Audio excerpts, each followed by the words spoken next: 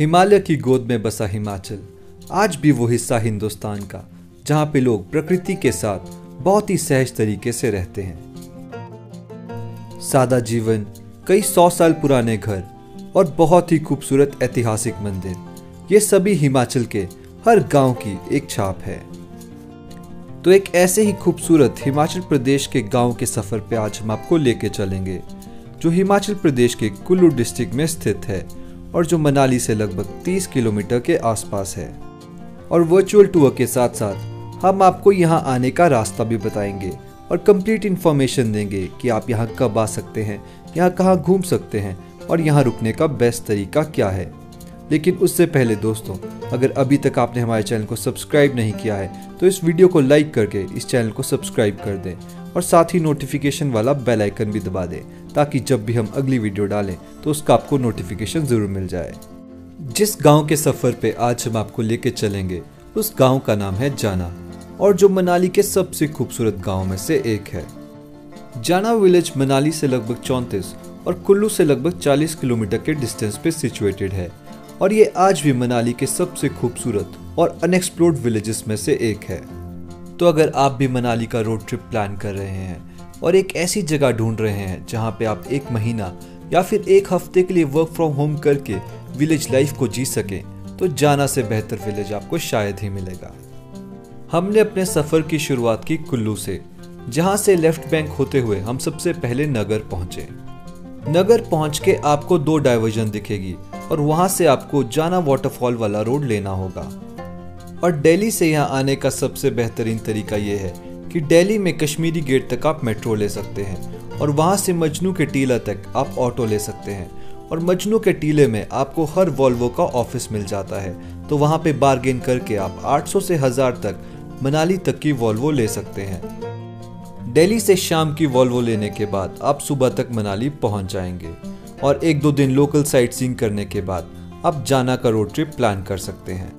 मनाली से जाना विलेज और जाना वाटरफॉल एक्सप्लोर करने के लिए आप टैक्सी या फिर बाइक रेंटल्स का सहारा ले सकते हैं और ये दोनों चीज़ें आपके बजट पर डिपेंड करती है।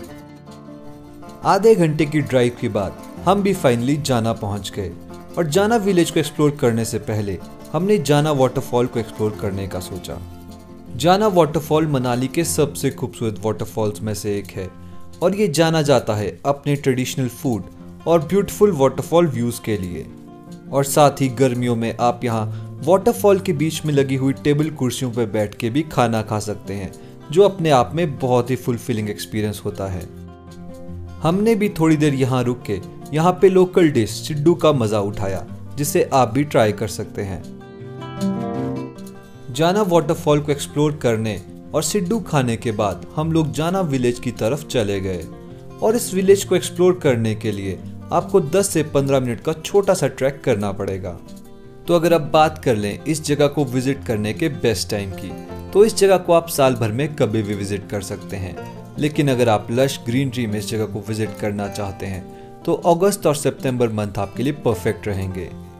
और अगर आप हैं स्नोफॉल के दीवाने तो दिसंबर और जनवरी मंथ आपके लिए परफेक्ट रहेंगे। जाना विलेज के ट्रैक पे आपको एक छोटा सा और बहुत ही खूबसूरत मंदिर देखने को मिलेगा, जो हिमाचली ट्रेडिशनल वे में बनाया गया है।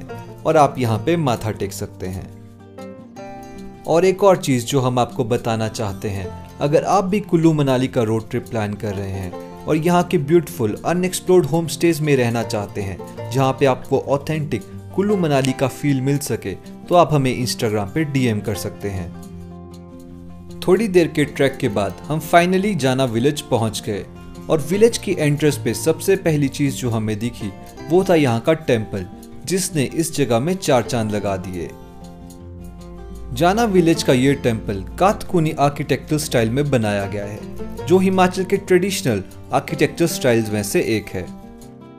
तो अगर अब बात कर ले, यहाँ पे आप कहाँ रुक सकते हैं? जाना विलेज में आपको कोई होटल नहीं मिलेगा, क्योंकि ये बिल्कुल ट्रेडिशनल वे में बना हुआ, आज भी मनाली के सबसे ऑथेंटिक विलेजेस में से एक है। तो यहाँ पे आपको सिर्फ़ होम स्टेज ही मिलेंगे। मंदिर को एक्सप्लोर करने के बाद, हम विलेज को एक्सप्लोर करने के लिए निकल गए। और जब हम विलेज को एक्सप्लोर कर रहे थे तो एक चीज़ जो हमने हर घर में कॉमन देखी, कि हर घर के नीचे बहुत सा घास और बहुत सी लकड़ियाँ इकट्ठी की हुई थी। और जब हमने यहाँ के लोकल लोगों से पूछा तो उन्होंने हमें बताया कि सर्दियों में जब यहाँ बहुत ज़्यादा बर्फ़ पड़ जाती है, तब वो इन्हीं लकड़ियों के सहारे अपना सर्दियों का टाइम काटते हैं। इस गाँव में ज़्यादातर घर लकड़ी और चक्के से बनाए गए हैं। चक्कों का फ़ायदा ये है कि जब सर्दियों में बहुत ज़्यादा बर्फ़ पड़ती है तो वो चक्कों पे टिकती नहीं है, जिसके कारण ये लोग इस चीज़ का इस्तेमाल करते हैं और ख़ासकर ये चीज़ यहाँ पर आसानी से मिल भी जाती है। हमने ये रोड ट्रिप दिसंबर पाँच के आसपास किया था और उस टाइम यहाँ पे बहुत भारी बारिश लगी हुई थी, लेकिन उस टाइम यहाँ बर्फ़ नहीं पड़ी थी। लेकिन अगर आप दिसंबर लास्ट या फिर दिसंबर 25 के आसपास यहाँ विज़िट करते हैं तो 50 परसेंट चांसेस है कि आपको यहाँ पे बर्फबारी देखने को मिलेगी। अभी आप अपने सामने हमाम देख रहे हैं, जिसका पहाड़ी लोग पानी गर्म करने के लिए इस्तेमाल करते हैं। सर्दियों में जब यहाँ बहुत बर्फ़ पड़ती है तो कई बार 15-20 दिन के लिए बिजली भी चली जाती है। तो उस टाइम ये लोग हमाम और घर के अंदर चूल्हों का इस्तेमाल करके ही खाना और बाकी चीज़ें करते हैं। इस गाँव को बाहर से एक्सप्लोर करने के बाद हमने सोचा क्यों ना हम अंदर जाके अपने एक दोस्त के घर में देखें कि वो कैसे खाना और कैसे रहते हैं। अंदर जाने के बाद हमने देखा कितनी मॉडर्नाइजेशन के एरा में भी ये लोग कितनी सादगी से अपना जीवन व्यतीत करते हैं। और जितनी सादगी से ये लोग अपना जीवन बिताते हैं, उतनी ही ज़्यादा सादगी इन लोगों के दिल में है। और इन्होंने हमारे लिए वहाँ पे छली की रोटी बना के हम लोगों को वहीं पे खिलाई। थोड़ी देर वहाँ खाना खाने के बाद और आराम करने के बाद हम फिर से विलेज की तरफ़ बाहर आ गए, जहाँ से हमने विलेज को एक्सप्लोर करना फिर से शुरू कर दिया। हमसे अक्सर बहुत से लोग पूछते हैं कि मनाली आने के लिए कितने दिन काफ़ी होंगे। तो अगर सही मायनों में कहा जाए तो मनाली के लिए एक महीना भी कम है, क्योंकि यहाँ पे बहुत ही ज़्यादा जगह हैं एक्सप्लोर करने के लिए। लेकिन अगर आप यहाँ आ रहे हैं एक हफ़्ते के प्लान के लिए तो सबसे बेहतर रहेगा कि एक दो दिन आप रखें मनाली की लोकल साइट सीइंग के लिए, जिसमें आप Rohtang pass, Vashisht temple Hadimba temple Solang valley और अटल टनल को कवर कर सकते हैं। और बाकी दिन आप स्पेयर रख सकते हैं यहाँ के ब्यूटीफुल और अनएक्सप्लोर्ड जगहों को घूमने के लिए। और अगर आप मनाली की अनएक्सप्लोर्ड जगहों को लेकर कन्फ्यूज़ हैं तो हम पहले भी उस पर वीडियो बना चुके हैं। और इस वीडियो को हम इस वीडियो के आई बटन पे अटैच कर देंगे तो आप उसे यहाँ पे क्लिक करके देख सकते हैं। तो दोस्तों, ये था खूबसूरत सफ़र हमारा जाना विलेज का।